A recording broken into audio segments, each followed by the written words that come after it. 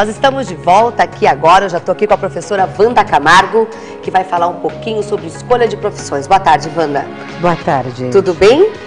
Muito obrigada pelo, por ter aceito o nosso convite, por estar aqui no nosso Toda Tarde para falar desse assunto tão interessante, cada dia mais necessário para os jovens, né? Que é a escolha da profissão. A Wanda ela é presidente da comissão de vestibular de uma universidade em Curitiba, de uma grande instituição de ensino. Então você está lidando com isso dia a dia. Então, que momento que o aluno tem que começar a pensar na escolha da profissão?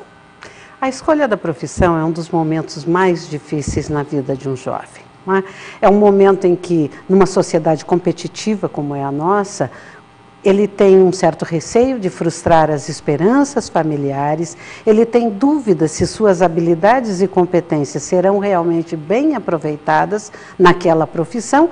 E hoje, a sociedade disponibiliza cerca de 150 profissões, cursos superiores diferentes para o jovem.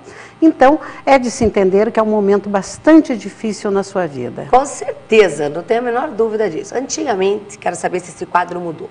O sonho de todo pai era o filho. Lá atrás era um filho bancário, um filho advogado, um filho médico, outro filho dentista.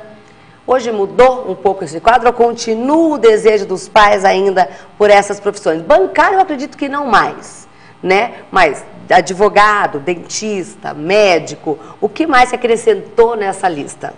Ou também o que saiu dessa lista?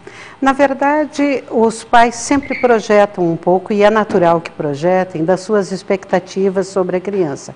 O difícil realmente é o pai entender que nem sempre o filho vai ter as, digamos, as condições para repetir a sua profissão ou até à vontade. Exatamente pelo pai ter uma determinada profissão, muitas vezes é que o aluno se afasta daquela profissão.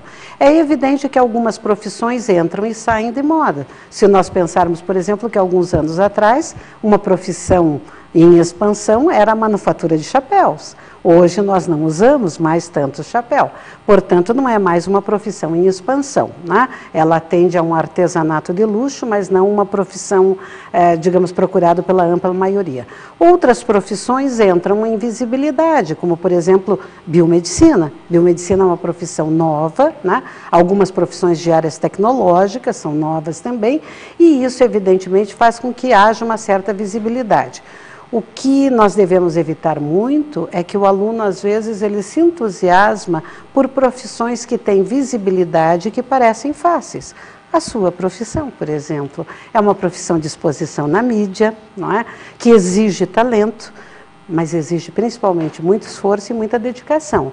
O aluno, na verdade, quando ele vê este programa, ele tem a impressão que a Ed é uma pessoa de sorte, que um dia ela estava passeando num shopping, alguém a convidou né, para exercer esta profissão e que nenhuma habilidade especial é necessária. É tudo muito fácil. Isso. É muito gostoso. Está aqui, frente às câmeras, aparecendo Isso. todo dia.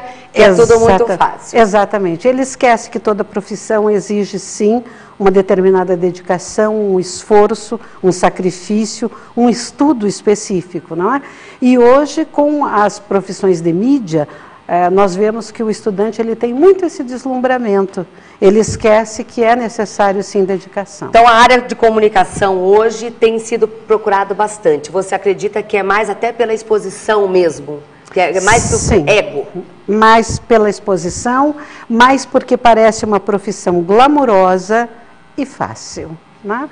Quando, na verdade, nenhuma profissão é fácil. Todas são necessárias para o desenvolvimento da sociedade. É evidente que cada uma tem a sua especificidade. A área de saúde, por exemplo, exige um tipo de personalidade disposta a doar-se ao outro, disposta a olhar o outro, a resolver problemas do outro que talvez a área de comunicação não necessite, apesar de que uma preocupação com o outro sempre transparece também no comunicador. Qual hoje tem, existem alguns testes vocacionais? Sim. Esses testes são feitos pelas universidades, pelos cursos preparatórios, como que funciona?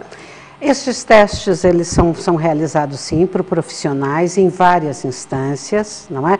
Algumas um pouco mais acessíveis, como é o caso das instituições de ensino, outras um pouco menos acessíveis, que são os profissionais particulares que desenvolvem estes testes. Eu os considero um poderoso auxiliar. Mas, de qualquer maneira, eu acredito que o fundamental é a procura de uma certa visão da prática da profissão que o aluno vai escolher.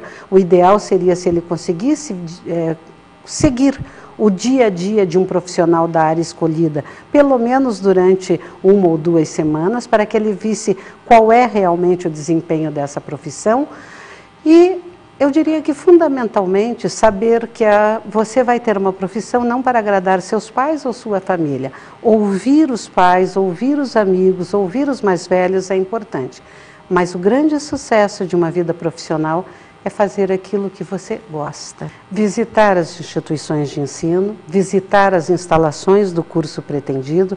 Algumas instituições, como é o caso da Unibrasil, por exemplo, nós oferecemos uma visita guiada, inclusive com pequenas práticas dentro dos laboratórios. Ótimo. E daí isso é marcado? Ó, isso, quem agora marcado. tem vestibular, agora em julho tem vestibular, né? Temos. Dia 19 de junho fazemos a prova do vestibular e estamos com as inscrições abertas. A dia 19 de junho, Unibrasil está com as inscrições abertas. Caso você se interesse, está nesse momento de decisão de profissão, você pode estar tá entrando em contato com a Unibrasil, marcando essa visita guiada. Uma visita guiada.